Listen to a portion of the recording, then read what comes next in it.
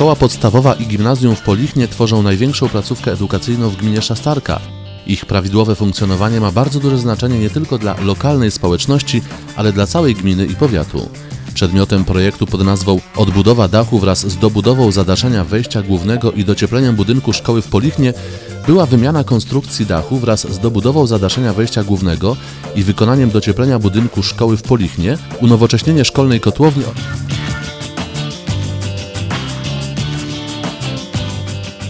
oraz przeznaczenie jednej z sal na pracownię chemiczną z wyposażeniem.